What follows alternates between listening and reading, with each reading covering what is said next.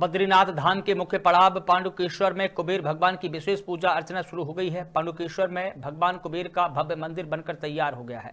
मंदिर में महाविद्या पाठ आज से 15 जनवरी तक किया जाएगा। इससे पहले अलकनंदा नदी से पवित्र जल पूजा, गणेश पूजा और हवन किया गया। इस दौरान महिला मंगल डर के द्वारा विशेष भजन, कीर्तन और झुमीला नृत्य भी किया गया है। पांडुकेश्वर से अजय कृष्णा मेहता की रिपोर्ट। भगवत कृपा है। आज कुबेर के प्रांगण में हम भी खड़े हैं। पूरे गाँव में एक ऐसा माहौल देवतामय हो रखा है, गाँव वाले प्रसन्न।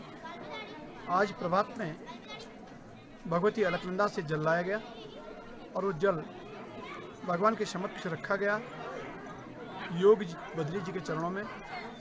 और तत्पश्चात कुबेर मंदिर। ये नवीन मंदिर, इसमें आज शुद्धिकरण हवन होगा। तत्पश्चात पूजाएँ होंगी। सभी देवी देवताओं की पूजाएँ होंगी। तीन दिन ये कार्यक्रम होगा। विशाल जी को प्रणाम करके कुबेर जी महाराज और हमारे इस देवताओं को प्रणाम करते हुए ये कहना चाहूँगा आपसे कि इस वर्ष जो है हमारा पुराना मंदिर जो है वो, जीर्ण जीर्ण शीर्ण हो गया था।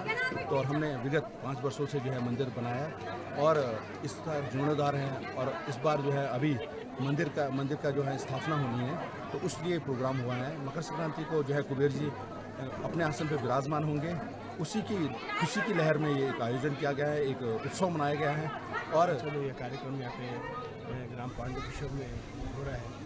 यहाँ पे शीतकाल में भगवान कुबेर जी और उद्धव जी की पूजा यहाँ पे की जाती है और काफ़ी समय से हमारे गाँव में भगवान कुबेर जी का एक भव्य और दिव्य मंदिर बनाया जा रहा था, जो कि इस वर्ष जिसका कार्य पूर्ण हो चुका है और इसके लिए